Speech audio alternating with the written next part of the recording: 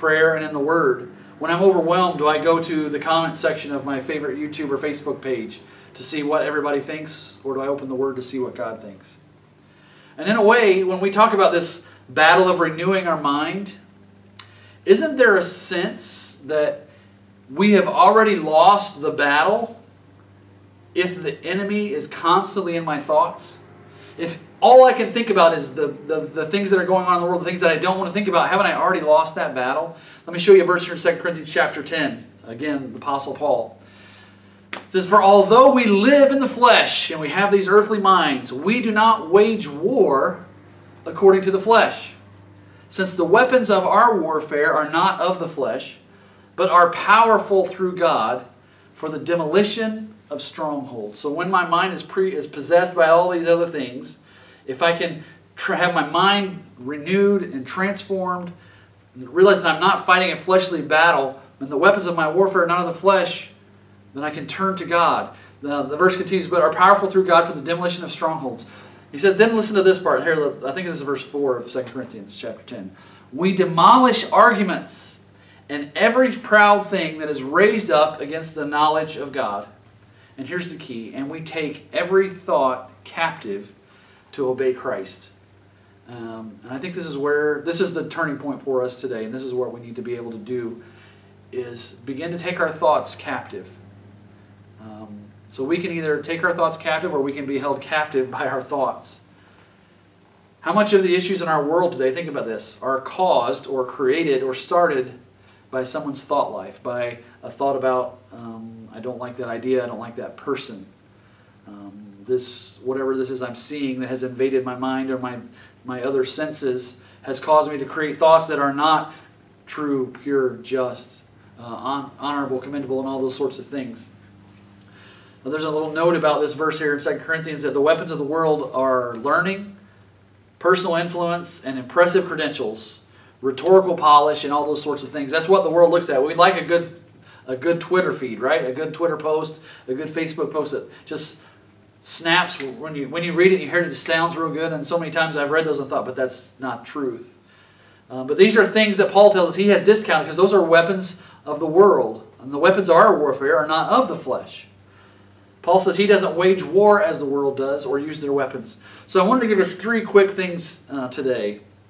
Uh, I spent the majority of time on the first one. The first one is this that we've seen from all these verses is dwell, think on the things of God. Take your thoughts captive.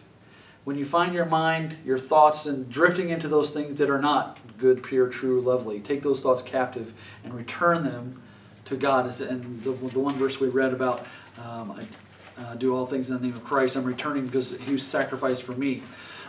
so anyway, so dwell, think on the things of God. Second, and this would be very helpful to you as well, when we're overwhelmed by how uh, our thoughts lead us, focus on God's work in the world.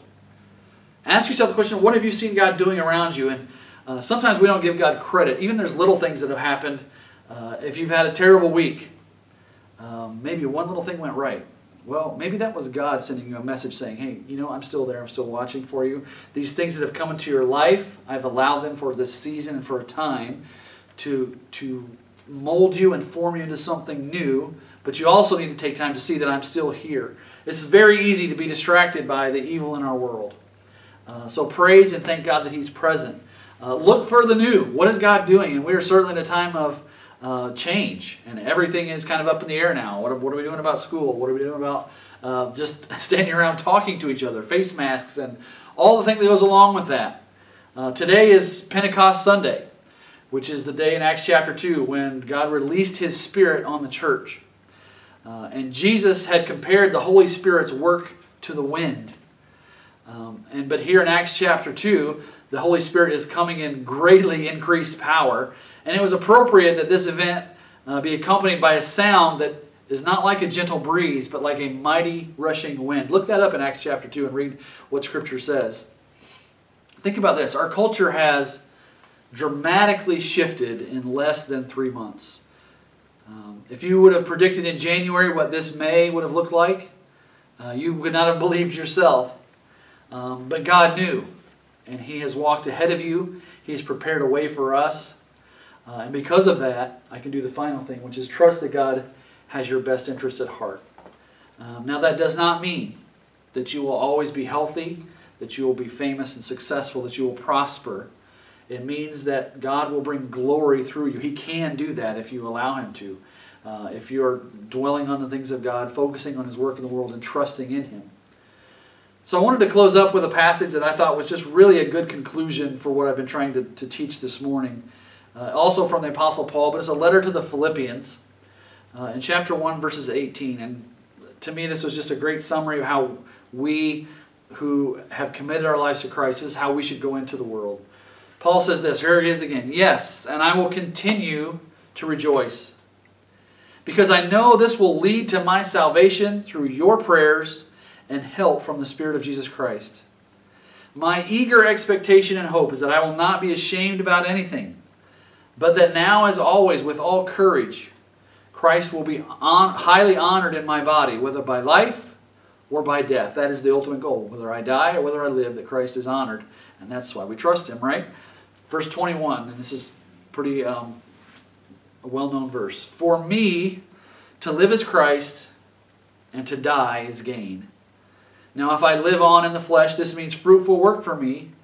And I don't know which one I should choose. Paul says, if I die, it's a good thing. It's, it's a gain. God is glorified. But if I live and I continue to do his work, he's still glorified. Paul says in verse 23, I am torn between the two. I long to depart and be with Christ, which is far better. But to remain in the flesh is more necessary for your sake. Since I am persuaded of this, I know that I will remain and continue with all of you for your progress and joy in the faith. So that because of my coming to you again, your boasting in Christ Jesus may abound. They were going to rejoice because Paul had returned to them. They didn't know. They thought maybe he was going to be killed when he was in Rome. Just one thing, verse 27. As citizens of heaven, live your life worthy of the gospel of Christ. Then whether I come and see you or am absent, I will hear about you that you are standing firm in one spirit, in one accord, contending together for the faith of the gospel. Some powerful words there. Not being frightened in any way by your opponents. This is a sign of destruction for them, but of your salvation. And this is from God. Verse 29 For it has been granted to you on Christ's behalf not only to believe in him, but also to suffer for him since you are engaged in the same struggle that you saw I had and now hear that I have. And he's describing his present situation. And this is where we, we all are. We feel we're in this place of suffering. And this, these words from Paul in uh, Philippians uh, chapter 1, I hope they can encourage you. Uh, I want to give you one final illustration and give you a preview of next week uh, and then pray for us. Um, but I began to, to wonder this week that I was prompted to, to wonder what is the word, why do we call this thing a coronavirus? So I looked it up. The word corona means crown. Uh, and the reason we call this a coronavirus is that the scientists who in uh, 1968 they came up with this term, they thought that the virus they were looking at resembled a solar corona. Uh, it's a bright crown-like ring of gases surrounding the sun. It's usually you can see it during an eclipse. So I've decided that one of the steps I'm going to take is that whenever I hear that word corona, I'm going to be reminded that it talks about a king. To the one to whom truly all attention and honor and glory are due. And as I said, this is going to be the last Sunday, unless something really important comes up. You won't hear me talking about this topic because next Sunday we're going to start uh, a series on Saul and David and Solomon, although we may not get to Solomon in 2020. Um, but I want you to read 1 Samuel 8 in preparation for next Sunday. Um, and there's a whole lot more I could say about that, but I'll probably save it for next week.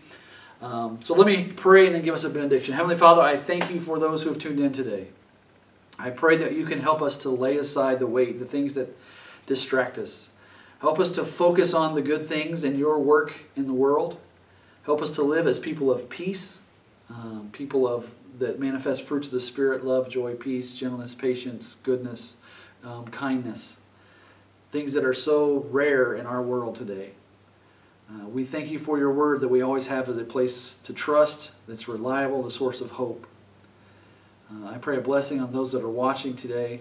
Uh, may your spirit speak to their hearts even now in this moment. Uh, if there's someone watching who doesn't know you, uh, may they find the hope that you offer. Uh, and I ask this in Christ's name. So may our Lord Jesus Christ Himself and God our Father, who has loved us and given us eternal encouragement and good hope by grace, encourage your hearts and strengthen you in every good work and word. Just let me remind you, I'll see you on Tuesday. Uh, Facebook Live is the plan, uh, 9 o'clock. Uh, and I'm going to post a, a, song that has really been encouragement to me. If I played it, they'd shut us off here. Um, but it's the, the song is called Hills and Valleys by Tauren Wells, and I'll post it in the comments after this video. Uh, thanks, for, thanks for tuning in today. God bless you. Have a great week.